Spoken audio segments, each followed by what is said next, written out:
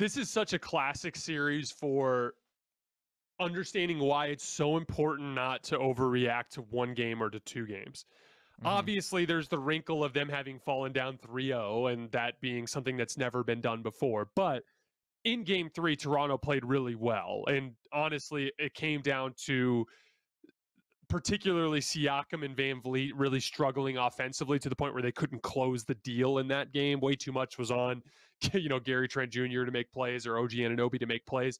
But the truth is, is like if you were to watch the first two games of that series and then watched game four and five, they they are massively unrecognizable between the two the two stretches of games and it's because in a playoff series so much can change we talked about this at the beginning i said the theme of the show was styles make fights but that the st- it's about the style that wins the fight well coming into this series we talked at length about how Joel Embiid and James Harden were the best two players in the series probably that that uh, Philly had more talent that they should win but they had some specific flaws. One, their transition defense.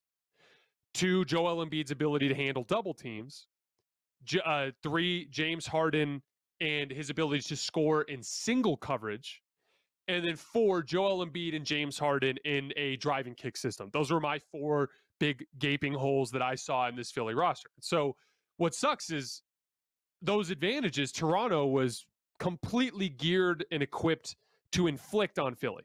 They had all the length and athleticism to cause James Harden problems and to cause Embiid problems in double teams. All the length and athleticism to get up in floor and transition, to get into driving kick scenarios where they can take advantage of their lack of foot speed. They had all of that. They had the coach to do it too, but they just did it. In the first two games of the series, the Raptors allowed 135.8 points per 100 possessions. In the first two games of the series, the Sixers ran them off the floor in transition. So the same thing that they should have been doing to Philly happened to them. So even though Toronto had advantages, Philly was playing so well and Toronto was playing so poorly that none of that materialized and they got their ass kicked. In the three games since, these Sixers are being held to 102 points per uh, per 100 possessions literally 33 points fewer, more than 33 fewer points per 100 possessions compared to the first two games of the series. Toronto's just playing better, man. Huge part of it. I mean, Fred VanVleet is their best perimeter initiator. Fred VanVleet is a very good defensive player at the guard position, but he's small. And there are there's all these different ways that we look at defense and you know, in isolation defense, VanVleet's ability to get up underneath you and slide his feet and be physical is valuable. But covering ground in rotation, there's a ceiling there for VanVleet. He's small. He can't cover as much ground. So they take VanVleet out of the lineup. All of a sudden, Gary Trent Jr., who's 6'5 without shoes on, Gary Trent Jr. was the smallest player they played. Everybody else, other than him, is massive, long, and athletic. So suddenly, Toronto looks a lot more imposing defensively just because of the lineups that they're going with. There was a really, really, really interesting sequence late fourth quarter, or excuse me, uh, middle third quarter of game five, of game, uh, yeah, of game five. So you guys have probably seen this clip. It was going around social media like crazy. And I specifically have been on this train all season long. So of course I have to bring it up tonight.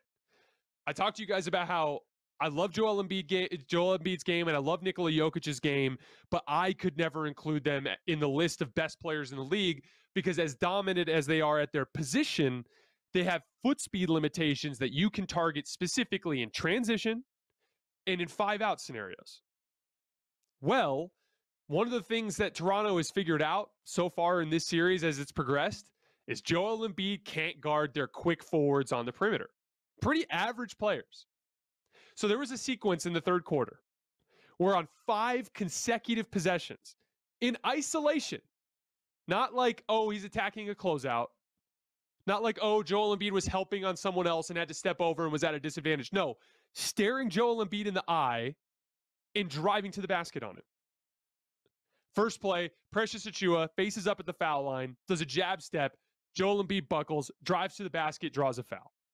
Very next play, OG Anunoby kind of like fakes like he's going to use a screen and roll. Joel Embiid is dropped way off of him, like 10 feet. OG hits the gas and punches the gap, blows right by Embiid for a dunk. Next possession, kind of semi transition. Man, man on man.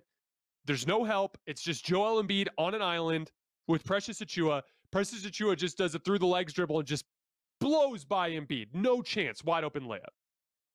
Next possession, same exact thing. Pascal Siakam on the right wing just drives by right by Joel Embiid for a layup. And then finally, on the fifth consecutive possession out of the left corner, Precious Achiuwa drives on Embiid. Embiid actually makes him use a counter move this time. But Precious just up fakes and goes up and under and makes a layup on the left side of the rim. Five consecutive possessions where they scored on Joel Embiid in isolation situations because their players are faster. And that again is Precious Achiuwa, OG Anunoby, and Pascal Siakam. All very good basketball players. None of them are dominant offensive engines. And Joel Embiid can't guard them on the perimeter. It's just a limitation in their individual games. Jokic and Embiid. Not a criticism of them as like they're not top 10 players or they don't deserve to win MVP or any of those things. Just why I personally am always going to lean towards a Giannis or a LeBron or a KD is because if you put them in that type of setting, a game that goes up and down or a game that's stuck in the half court, a game that's five out or a game that's more traditional with, you know, a lot of pick and roll and uh, guys underneath the basket with less less spacing. They can thrive in all of those environments. With jo- Jokic and Embiid, if the style exits their comfort zone, they have shortcomings. And you're seeing Toronto attack that.